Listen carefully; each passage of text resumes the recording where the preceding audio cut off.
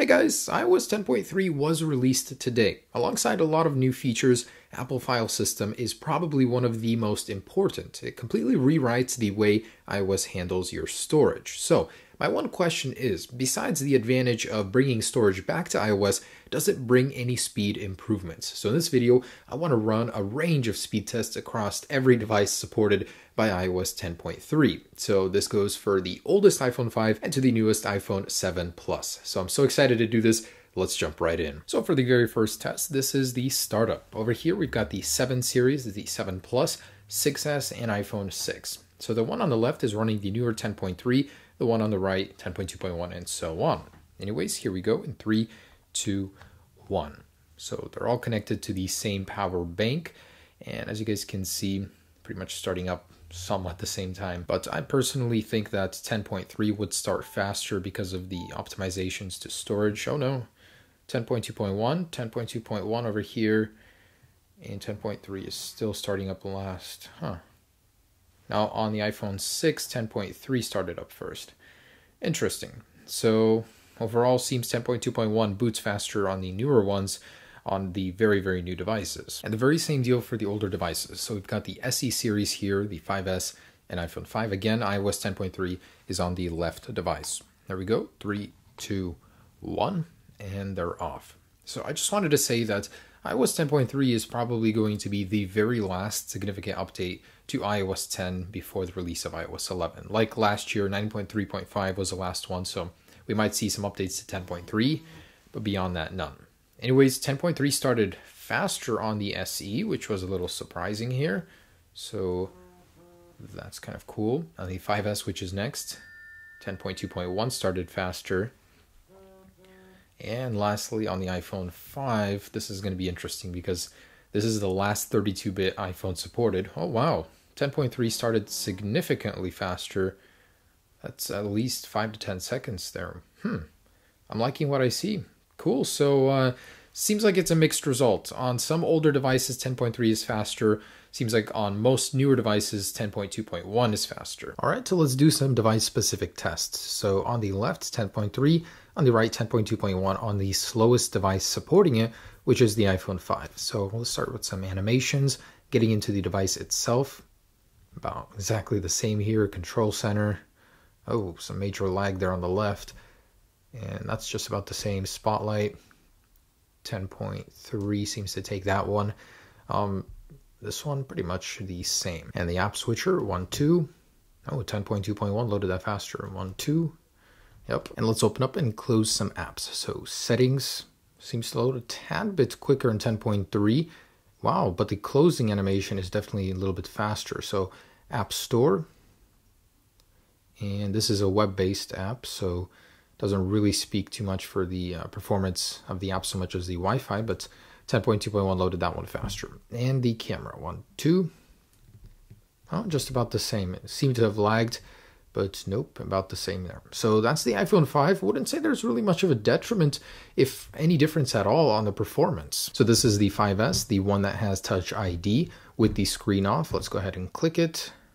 Actually, literally exactly the same, and with the screen on. Oh, 10.3. So let's try that again. One, two. Yeah, 10.3 with the screen on seems to unlock faster. Interesting. And the UI elements, let's try notification center, hmm. control center, the spotlights, this one and this one. So both pretty hesitant right there. App switcher, one, two. Oh, 10.2.1. One, two. Hmm, interesting. So pretty close on this one too. Let's try settings exact same amount of time. So seems like there's not much of a difference in the animations. Although they do look a little prettier on iOS 10.3, they close uh, with a more rounded shape. They seem to perform exactly the same. This is the SE Touch ID test. Uh, about the same.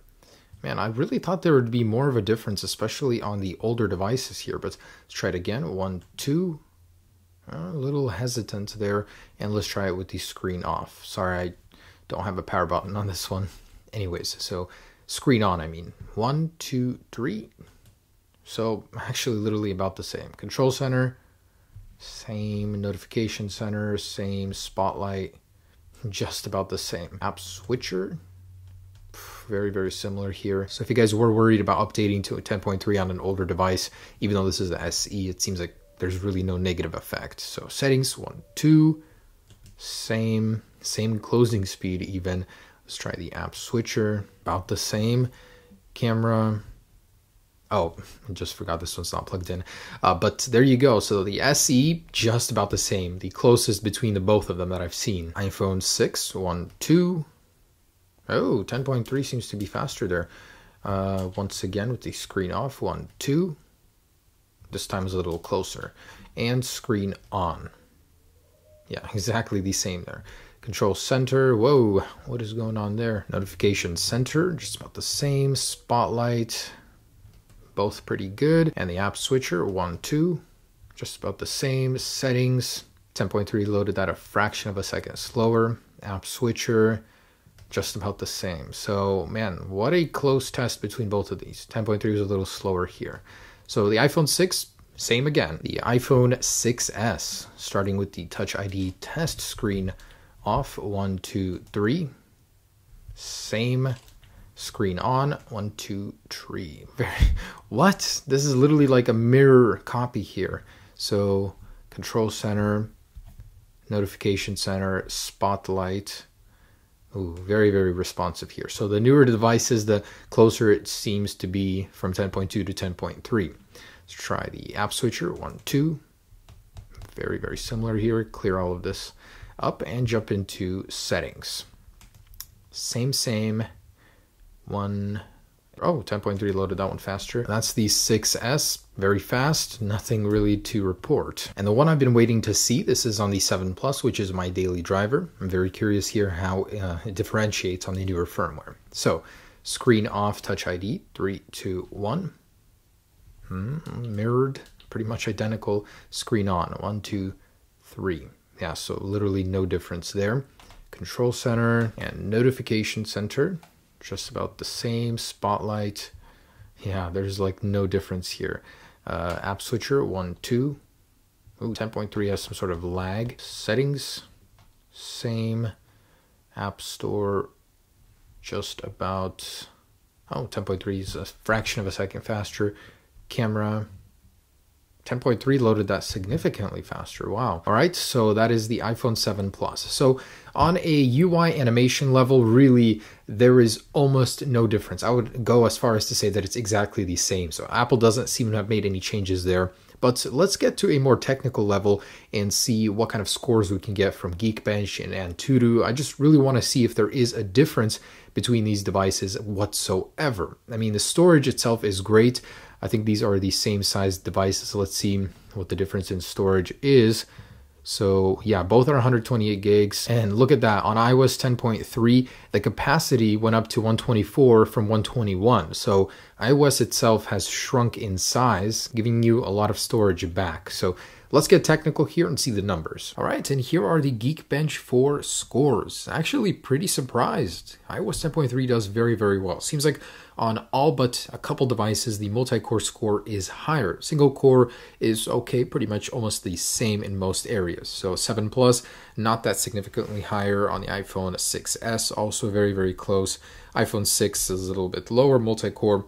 Uh, going all the way down to the iPhone 5, the multi-core is a lot lower than the other ones. So overall on the iPhone 5, I would say 10.3 is a downgrade uh, from all of these tests that we've run. So overall, pretty close, but there's one more uh, test I wanted to run, and that's the Antutu benchmark that tests GPU performance as well. And here's Antutu, so a little hard to see, but significantly lower on the newer devices. So this one's 10,000 below, this one's about uh, 14, 13,000 below. On the older devices, the scores are just about the same. So Antutu seems to report that graphics performance is lower on 10.3. All right, guys, so there it is, iOS 10.3. The conclusion I have achieved at the end of this video is essentially that iOS 10.3 is almost indistinguishable when it comes to performance from iOS 10.2.1.